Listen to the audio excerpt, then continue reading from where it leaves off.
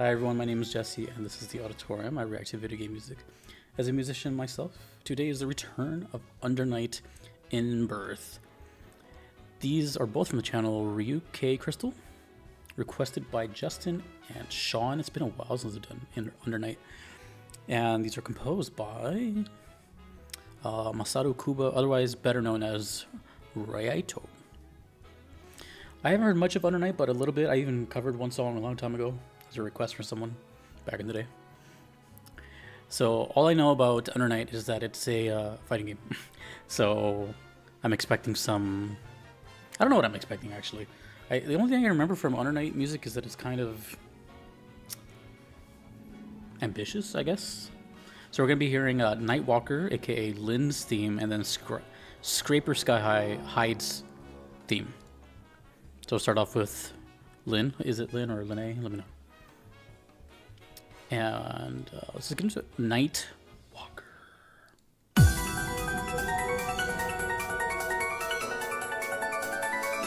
This composer's done a lot.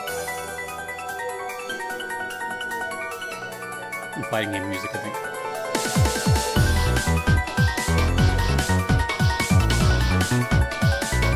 I'm gonna see if I can guess like her personality, both of the personalities, and then look it up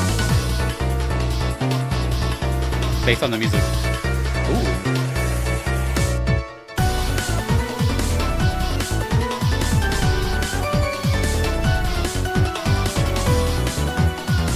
I feel like I've heard of that before.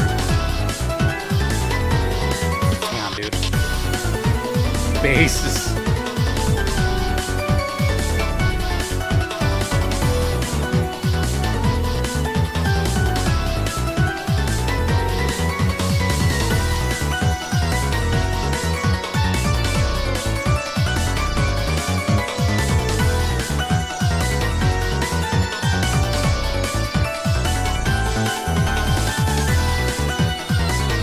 can't tell if she's evil or not.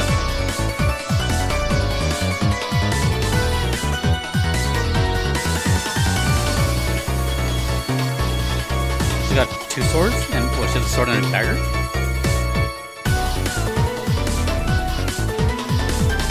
Woo! Everything sounds amazing.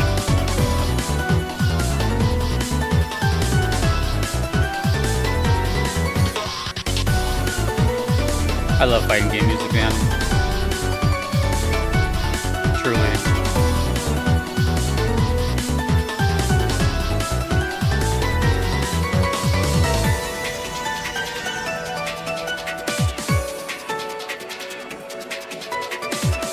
Okay.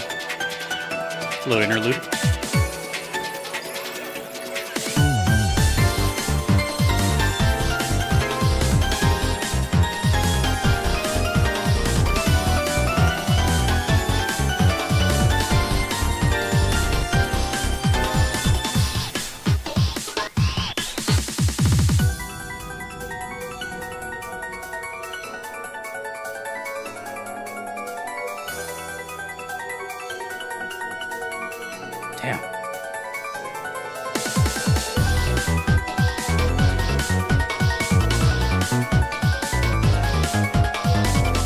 Oh, toho going on.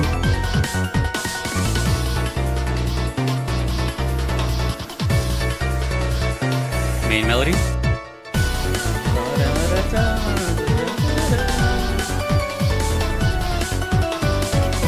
Fantastic. This is what a character theme entails. Reminds me of actually like Street Fighter EX Alpha. The Alpha series, no, the EX series of music has a lot of this going on.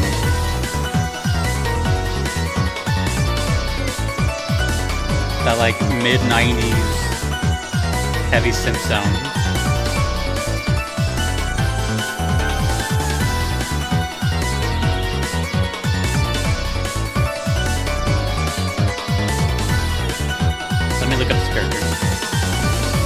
Not gonna read it yet. I'm not gonna read it yet. Under night.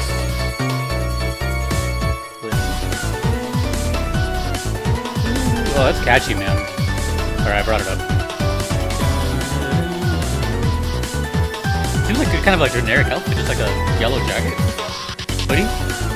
I don't know what she's wearing on bottoms, but she looks angy. Stern, I should say. Stern. Oh, I see a picture. She's wearing like black shorts. Oh, dude, I love the the airiness of the piano, you know, for the keys.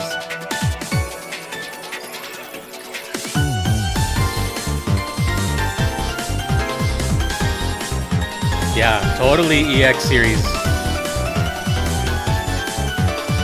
If you're a fan of fighting game music and stuff like this, Fighter EX, trust me. What's the song I'm thinking of? It's like the most famous song.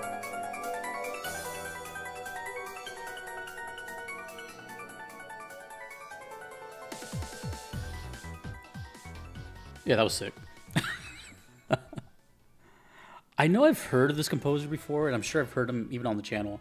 I just can't remember what. So if you know what else I've heard from uh, Raito, let me know, because that name sounds really familiar. Uh, the song I was thinking of, by the way, is called uh, Strange Sunset, aka Guile's theme. That whole, uh, yeah, just go listen to that. So before I get started on anything, um, I'm very biased towards fighting game music. I've always been a fan of it. I grew up with a lot of fighting games, so uh, it's, it's, always been very special to me because it's always a mix. Sometimes it's a mix of different things. You know, of course, we have like your menu music, we have your character select music, and then there's stage music and character themes. So it's like it's a big, it's a it's a mixed bag of stuff. And I've always been drawn towards character themes, specifically because they're kind of like a like a bio. You know, they're kind of explaining the character in an instrumental fashion. It's pretty pretty cool to say stuff without words, you know? At least that's the way I've always seen character themes. Like they have to describe essentially the mannerisms, speech, the move set, etc., the story of the character. So it, it really makes you wonder like, huh, what kind of person are they? Now, in this case, I'm a little lucky because I have an image, which, by the way, this uh, awesome thumbnail from this channel. I see, you know, a kind of like stern, no BS looking young lady. She's got a what looks to be a pretty broad sword behind her, and then like a dagger. So she's, you know, a knife fighter at least. But um, I'm getting like this no nonsense,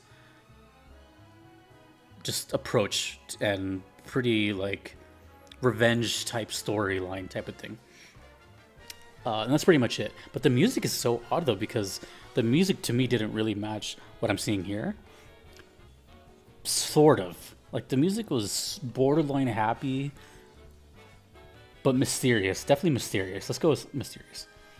But you know, it wasn't like dark per se or angry sounding. It just sounded like this character has quite a lot of depth, as vague as that sounds. So that's my guess. Now I'm going to read the fandom page. Oh, we actually have the full image here. I just saw that. That's what we're looking at. She seems to have like a side character, like a little like a little animal pet. Oh, they have her birthday and everything. Apparently, she's four seven, aka 141 centimeters. That is a little lady. Maybe she's young. She does look kind of young, maybe like 20 or something. Um.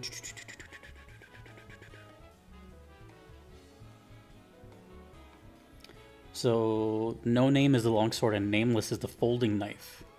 Hmm, okay. Okay, so let's see what it says here. Uh, this character is the Deader Deaderon Deuterogenist of Under Night in Birth. I don't even know what that means. I have to look that up.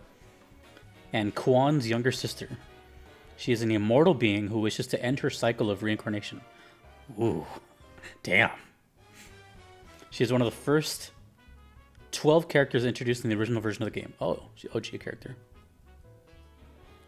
Okay. Mind you, I have no idea if this character is connected at all to the next character, the next team. I go, I put themes together based on what game they come from. Is that it? Is that all information? Okay. I guess that's that's it. I gotta find out what this word means. I've never even seen it before. Deuter, Deuter, to Google, to Google. This might be. Uh, let's see what. Let's see how Google pronounces it. Deuterogonist. Deuterogonist. The person second in importance to the protagonist in a drama. Raise your hand if you knew that, because I didn't. Okay, so like a. Okay, so like a sidekick to the main character. Okay. Cool. I like learning new words. Thanks, Google. so she's a main character. Younger, Kwan's younger sister. Well, I was kind of right in the mysterious part, but the whole like immortal and breaking the cycle, that's pretty cool. I like that. Interesting. Nightwalker is the name. Now that I don't get, but I guess it's where you guys fill in the information. How exciting. Anyways, uh, that was cool. I loved the whole jazzy feel to it. Uh, just really awesome. Everything sounded great, and there's really not much more to say. I love that sound, and it was great. I loved the loop. It was perfect. Great song. this one also I'm going to look up after. This is Scraper Sky High. I feel like that should be called like Sky High Scraper or something, but it's called Scraper Sky High. Hyde's theme. And I'm getting some, uh, I don't know what kind of vibes I'm getting from this character, but he looks kind of bad. Red eyes, red sword. It's a red theme to the thumbnail. Alright, let's go with Scraper Sky High Hyde's theme.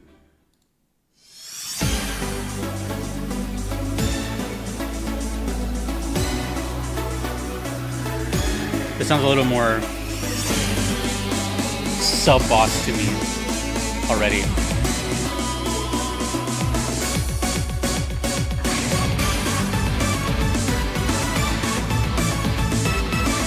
Electric guitars. Let's pull up this page, but not read it yet.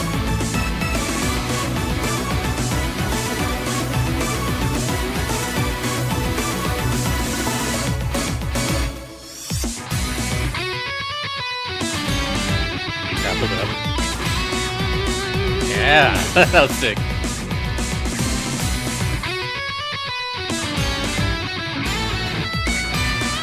Nice, a straight up guitar solo, leaving everything cut out.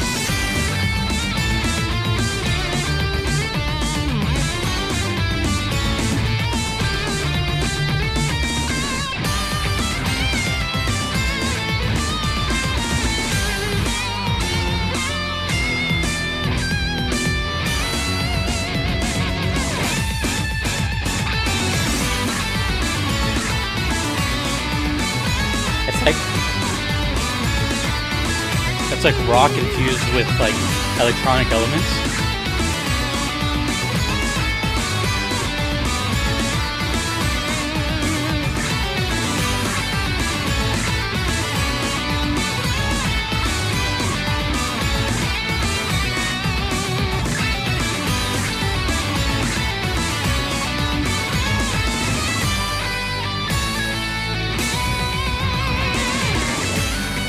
He looks a little more like like he's got like a suit, uh, like a specific work uniform on or something. Maybe part of a army or something.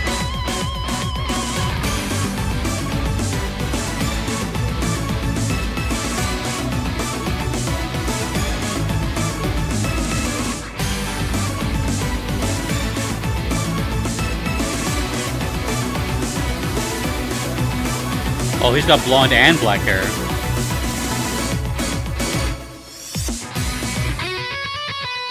That's really cool. It's a loop. And then again.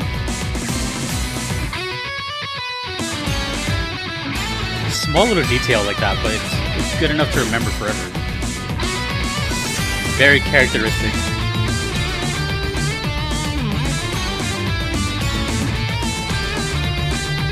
I wonder if I can guess his story. Like, just throw a random story out there and see if it sticks.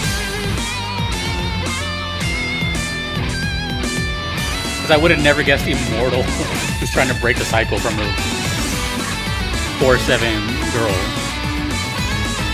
I don't think we got her age either. Does Immortal count as an age?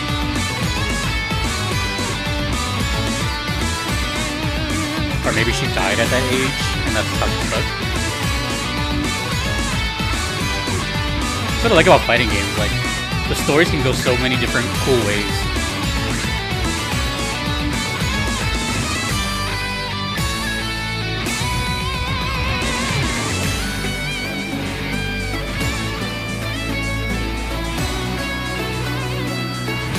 What a great soundtrack, seriously.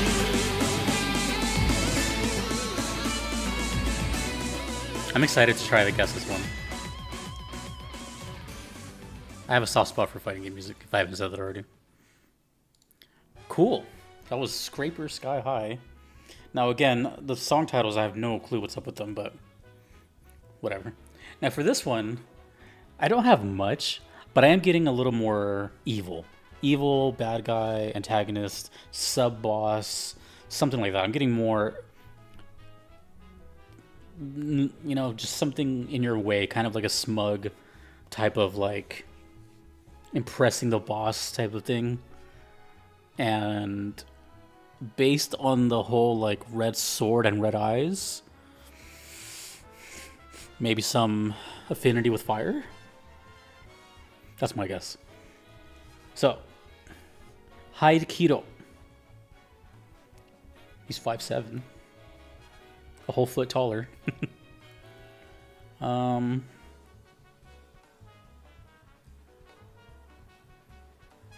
the weapon is called the Indulgence of ins Insulating the Insulator.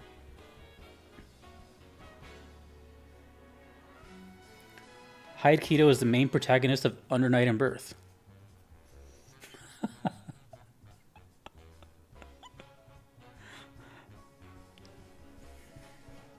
He's the wielder of the legendary Insulator and a second year student at an unnamed high school. Okay. He was one of the 12 original characters introduced in the first version of the game.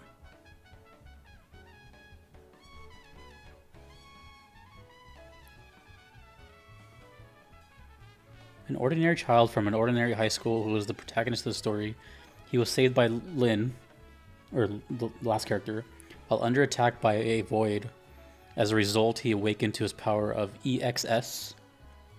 Excuse me. And Linne has demanded his help. Since then, Linne has made Hyde's house hers, as well having Hyde do her bidding. All the while, when the hollow night falls on the world, she acts on her own, not wanting to expose him to danger. In order to save her, however, Hyde takes matter into his own. I think I might have missed a description for Linne. So hold on. Let me go back to Linne really quick. Hopefully I'm saying their name right.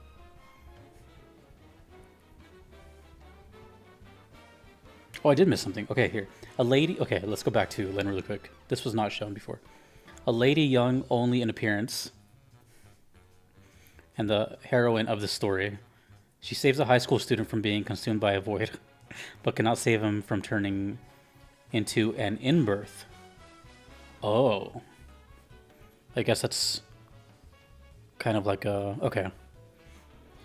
After discovering his awakened powers, however, she asks for his help. Use that power of yours to end my life. But before he can grant her wishes, a woman claiming to be the leader of Amnesia leaves them with a cryptic message. I'll be waiting at the abyss on this hollow night, princess. Now, this is cool because for those that don't know, ever since I started introducing this uh, dual video thing, or dual, two songs per video, for the longest time I just did one song per video. And uh, I did this to kind of like cut down time and, you know, get more information out of the same game, you know? Kind of just multiple pluses as to doing it. But I don't. There's no like rhyme or reason as to why I put songs together. In this case, uh, the song that was. Uh, let me pull this up actually. Give me a second. The song that was requested was Lindstein. And since that one had uh, priority, I grouped it with the next request that was been, that's been waiting the longest, and in this case, that was uh, Scraper Sky High. So, what I'm saying is, there's literally almost never any relation besides they come from the same game. Sometimes, you know, my community on Discord will be like, "Hey, put these two together" or something. But, but anyways, for the most part, they just go together based on their name. So these two being together is pretty cool, especially since I looked it up. See, and that's another thing is funny because I don't always look up stuff. Sometimes, very rarely. Uh, when it's something really, you know, tickles my fancy or I get that curiosity bug, I'll be like, oh, let's see more about the game. I'll look up the developer or something. But typically, I like to just kind of go in completely blind and just make assumptions and guesses. It's more fun that way. But I'm glad I did it here because not only are these two songs connected, but like the characters are like related, basically. That's awesome and totally unplanned. That's called serendipity, and I'm big on serendipitous events. Um, the whole channel is serendipitous to me. You know, like my whole career has been serendipitous, so I'm very big on like the whole like, you know, that aspect of it. I have no idea what these song titles are referring to, but I just think it's really amusing that both these songs are pretty closely related to each other. And I was way off on him being like, well, I don't know if he's evil. I just know he's the protagonist now, but I was I was guessing like the totally wrong vibe. So I don't know. I thought that was pretty neat, and just for that reason alone, I think it's gonna be one of my favorite like standout videos on the whole channel. Just as to like, you know, I can I can say, hey, that one time those two songs I heard were like directly connected, as far as I know, you know. Um, but cool, that's uh yeah i mean both songs were great they were they both sounded amazing they have this fusion of uh, metal rock and electronic elements very big emphasis on melodies you know i noticed when the melodies kick in stuff either drops out or like the volume kind of goes up a little bit for the lead you know it's a big earworm vibe in under night really cool that's awesome let me know more about Under Night in-Birth. I know they have a couple of games, and I think even a recent one or one's coming out or something. Never played them. Uh, but they look nice, though. And of course, again, let me know more about uh, Raito. Because feel like I've heard that name before. Anyways. Hyde's and Linne theme. Thank you, Justin. Thank you, Sean. Thank you to all my Patreon members. Can't be here without them. Thank you to my Platinum members. Thanks to you for watching. My name is Jesse in the Auditorium. Later.